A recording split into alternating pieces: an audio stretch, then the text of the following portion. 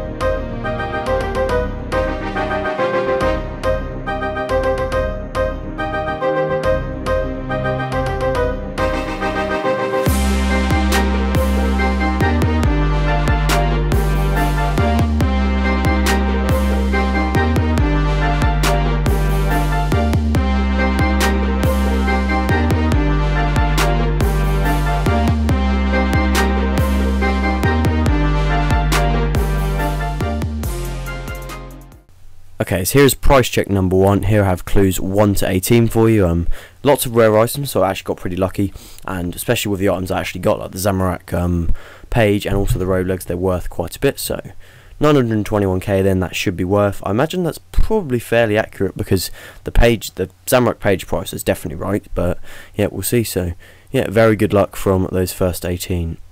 Okay, here is the second price check. I just had to get them a house because I accidentally put one of the items I got um, into the chest, so that just got out. So lots of rare items um, here too. So of course not including that seed at the bottom. So 351k from those clues then.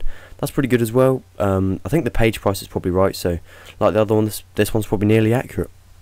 Okay, so this is going to be the end of the video then. If I would have sold all those items for the price that was given, I'd have made about 1.27 mil, so that's pretty good, but um, I'd probably say I'd have got at least 1 mil with all those pages.